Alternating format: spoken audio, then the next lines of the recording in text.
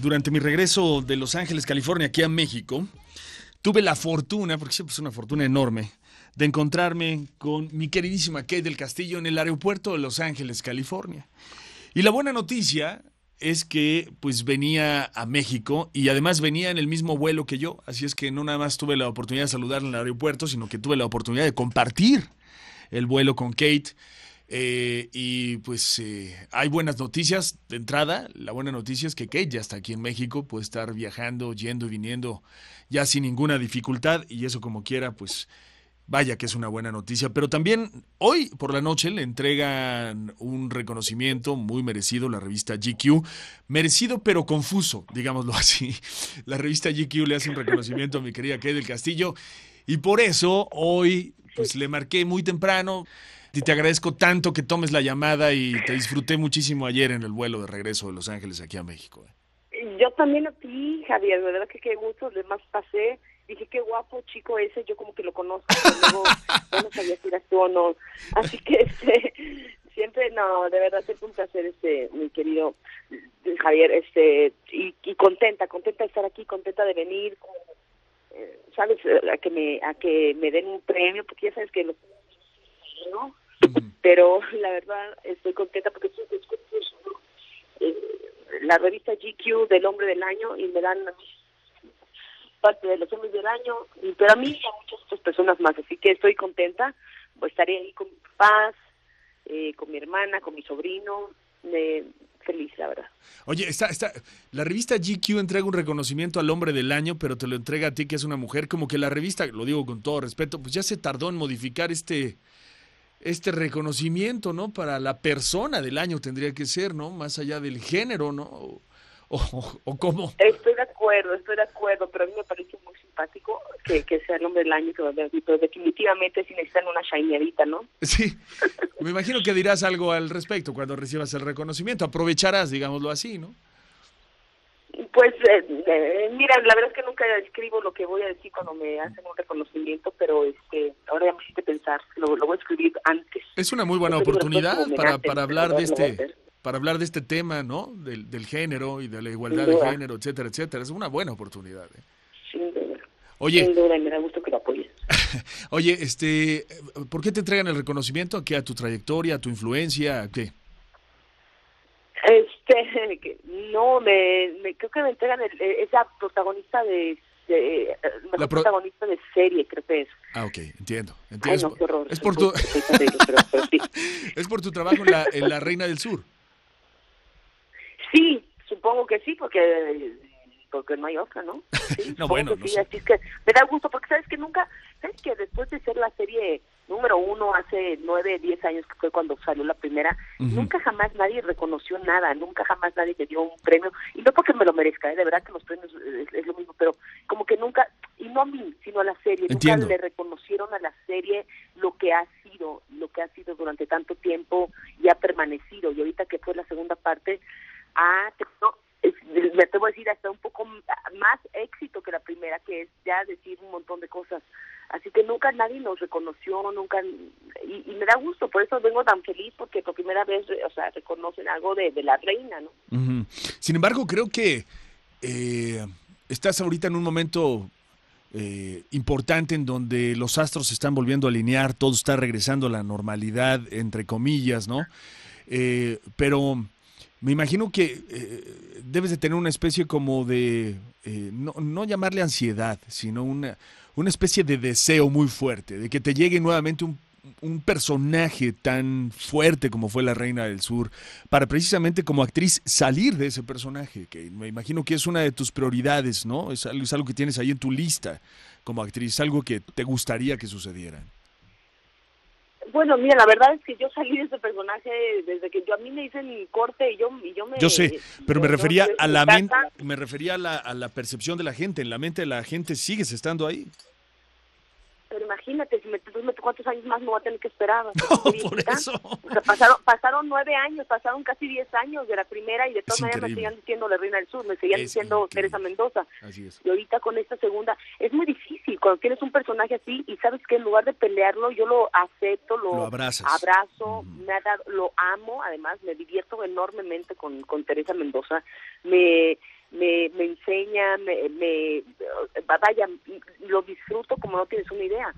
sí, y, y entre, entre tanto hago todo lo demás, hago cine, produzco, este, hago eh, otras, otro tipo de televisión, en, hago teatro, eh, todo que no tiene absolutamente nada que ver con la Reina del Sur, pero fíjate qué tan fuerte es ese personaje que todo el mundo me ve como si como si fuera yo, bueno, pues así me eh, me vieron tanto así que se creyeron el personaje diciendo que yo me había creído el personaje cuando yo cero me lo creo, se lo cree la demás gente, ¿no? Exacto, eh, más bien tú... no podía regresar yo a mi país. Así es, creo que es el resultado al final de este tu trabajo como actriz, ¿no? El que la gente eh, crea, te crea tanto el personaje, ¿no? Eso tiene que ver más bien con el trabajo que se hizo dentro del personaje, ¿no? Sí, definitivamente. Y es un personaje, bueno, escrito por un gran dramaturgo que, que es Arturo Pérez Reverte, que, bueno, no, no, no es nada más una persona que está haciendo telenovelas, y no por demeritar las telenovelas, de las cuales he aprendido mucho y son tan queridas aquí, aquí, en México y en todas partes. Simplemente es, es una historia que yo siempre digo, todo es la historia, es una historia súper linda de una mujer que sobrevive, que es una, una mujer que es víctima de sus circunstancias sin victimizarse y que es un personaje divino. Entonces ha sido un, la verdad para mí una, una belleza. Oye, ¿qué estás haciendo con Endemole? Ah, pues acabamos de firmar, qué bueno que lo sacas porque acabamos de firmar, salió el miércoles, eh, firmé eh, con mi casa productora, firmé un deal de, se llama, es como un, se llama First Look, entonces es un, es un contrato para mm, desarrollar contenido así que ya tengo ya, ya soy este ya soy Gutierritos. Ya tengo mi mi, mi, oficina voy a la oficina y todo el rollo. Así que estoy contenta tenemos muchos proyectos tenemos por lo pronto cinco que ya vamos a empezar eh, que ya están eh, listos para, para empezar. Y, y, estoy muy contenta porque Endemol es una empresa pues que ha hecho grandes series, grandes películas, son los, son los que iniciaron eh, Big Brother, Big, Brother, perdón, que son ellos, ellos empezaron con Big Brother y luego han hecho series como Peaky Blinders, que son... Que es una joya de serie, joya, no me canso de recomendarlo. Una joya, una joya, es lo máximo. Sí. Tú, harías un buen personaje ahí, fíjate. Tienes cara así como de Peaky Blinders. Hazme la buena, caray. Ahí sí no habría como decir no. Hazmela, aunque sea de extra. No, sin duda. Hazme la buena, señora productora. Bueno, es, es, bueno, cuando quieras te hago casting. Ah. Por favor, sí, sí, sí. Quiero, quiero hacer casting, por favor. bueno, Peaky Blinders, este, Black Mirror, o sea, tiene, tiene muchas. Es una empresa enorme, es una empresa que, que quiere hacer nuevo contenido, pero no nada más de series, no nada más de televisión, o sea, de, puede ser eh, eh, reality, puede ser, o sea, scripted, non-scripted, de televisión, cine, todo. Y, nosotros tenemos, la verdad, unos buenos proyectos y somos las primeras eh, mujeres, eh, que somos tres, porque claro, está Salma por ahí, que tiene a su compañero, que es un hombre, eh, Eva Longoria también, tiene pero nosotras somos las primeras, así que somos tres mujeres que nos dan un contrato eh, tan importante. ¿Quiénes son quiénes son las socias, que además de ti está está pues, Jessica, no? Carmen, Cervantes, mm. que ella tiene un currículum muy importante tanto en la música como en el cine, eh, como en eh, ella ha trabajado en bueno en la industria de toda la vida y, eh, y mi amiga Jessica Maldonado, que es una periodista y que es una mujer súper creativa y a la cual este quiero, que es la segunda mamá de Lola, mi perrita. pero que está pasando por momentos muy este, difíciles, Lola, por cierto. Según me... por, favor, no, por favor. No, no, bueno, solo estoy diciendo eso, que está pasando por momentos difíciles de salud, ha sido sometida a estudios, digamos, invasivos, que la tienen incómoda. muy, muy invasivos, sí, sí, sí. Bueno, bueno, esperemos que lo supere pronto. Pero bueno, que lo supere pronto y que le agarre el gusto ya después. ok. Exacto. bueno. Esas son las tres socias. Esas, somos las tres. Sí, sí, me faltó la firma de Lola, pero pues bueno, ahí veremos qué, hace. Pero no, estamos muy con la verdad es que tenemos este, este unas oficinas súper lindas ahí en el, en el edificio de Endemol, ahí en North Hollywood. Está- estoy con mucho, mucho trabajo, gracias a Dios. Por fin, ya de regreso en, en mi casa, que es, en, eh, que es ahora pues, Los Ángeles desde hace ya 20 años. Y, y eso es lo que quiero, quiero estar ahí, trabajando ahí, porque ya tengo año y medio que, un poquito más, que no estoy en mi casa, ¿sabes? De entre Ingobernable, La Reina, Bad Boys, este, después este, The Way She Spoke, que era la, la obra de teatro en Nueva York, no he tenido tiempo de estar en mi casa. Y, y es. Oye, Bad Boys es la película que, esta de Will Smith y Martin Lawrence, ¿no? Y Vanessa Hudgens, que se estrena en el próximo año, ¿verdad? Se estrena en enero, creo que es enero 17, si no me... Sí, de- del equivocada. 2020, exactamente. Es la, es la Sí. tercera parte de esta franquicia, ¿no? Exactamente. Oh. Después también que, que eh, han hecho, esta es la tercera parte, pero después la primera se tardó creo que ocho años en hacerse, la otra cinco, o sea, también es, y, y, y ahí está, ¿no? Entonces está, está, está bien, estoy contenta, la, la película parece que ha quedado súper bien, voy a grabar otras escenas dentro de poco, Sí. así que este Muy ocupada, estoy, estoy contenta, estoy con mucho, con mucho trabajo, gracias a Dios, Javier, porque estuve mucho tiempo sin, sin, sin trabajo. No, bueno. ahorita, eh, agradezco todo, la verdad. Muy bien. ¿Y el tema legal cómo va, Kate?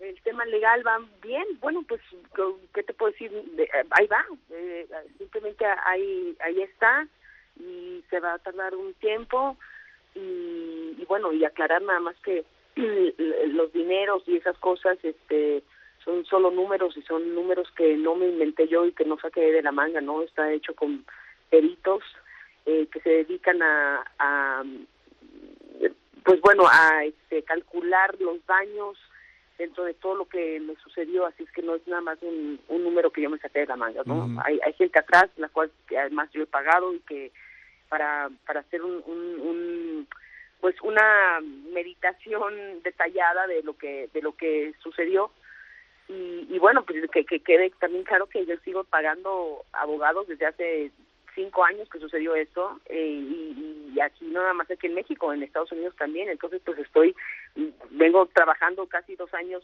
sin sin parar y, y, y- y lo hago para pagar lo que lo que necesito pagar ni siquiera es para meterlo en mi en mi bolsa en el banco no pero Entiendo. vaya a ver que quede claro que no me estoy quejando. No estoy diciendo las cosas como son porque ha habido mucha controversia eh, por eso no pero Así es. las cosas son son son así y no nada más simplemente no es un número que se saque uno de la manga Ok. Oye, ¿qué más te, eh, ¿qué más te ocupa, Kate, en este momento?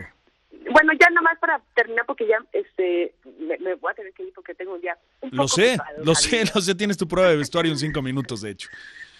Sí, exacto. Este, pero bueno, eh, nada más te quiero decir que está ya, eh, mira, es algo bien importante.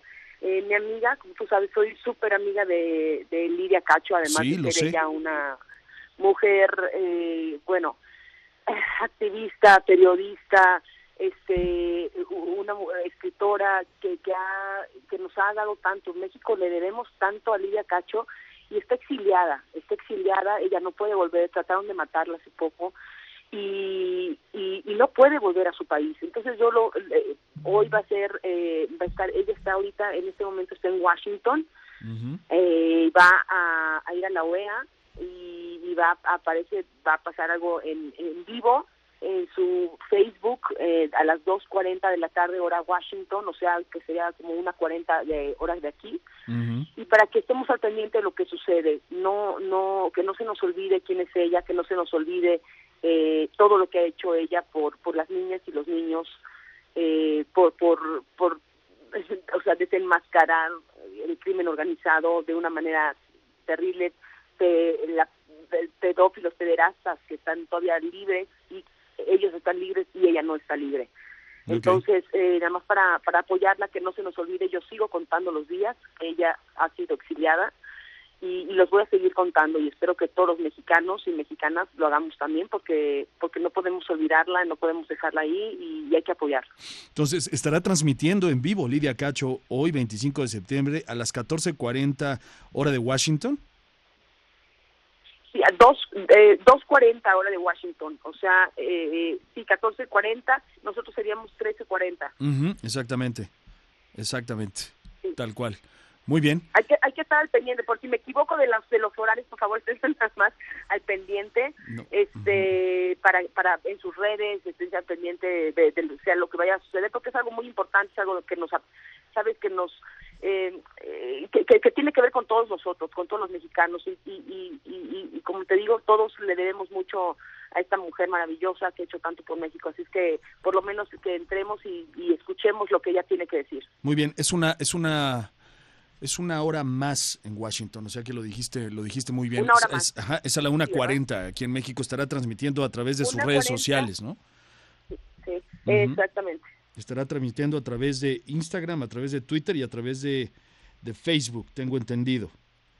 ¿Cierto? Sí, parece que sí. Muy bien. Ajá, eh, sí, hay que estar pendientes porque no estoy segura de todo, pero sí, seguramente van a ser esos tres medios y qué, qué, qué, es lo que le queda a ella y claro estará ahí un montón de, de obviamente de periodistas y pero está bueno que lo veamos en vivo. Sin duda alguna. Vamos a estar pendientes Kate y pues bueno gracias por compartir esto ¿eh? por darle voz a, no, a Lidia Cacho en este momento pues tan trascendental en su vida y en su carrera no en su vida en general.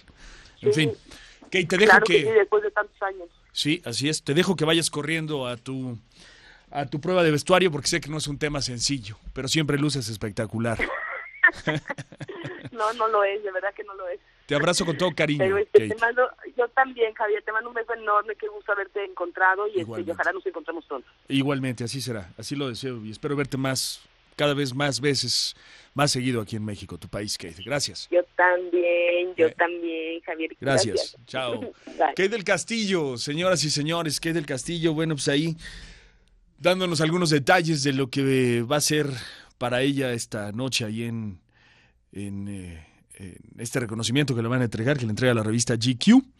Y pues bueno, el, el, tema es que pues ya está aquí en México y ya puede pasar sin ningún problema. Ayer me tocó ser testigo de esto, sin ningún problema logró entrar a nuestro país y pues bueno, parece que las cosas al final se están acomodando y vienen cosas muy interesantes para Kate, como lo comentaba.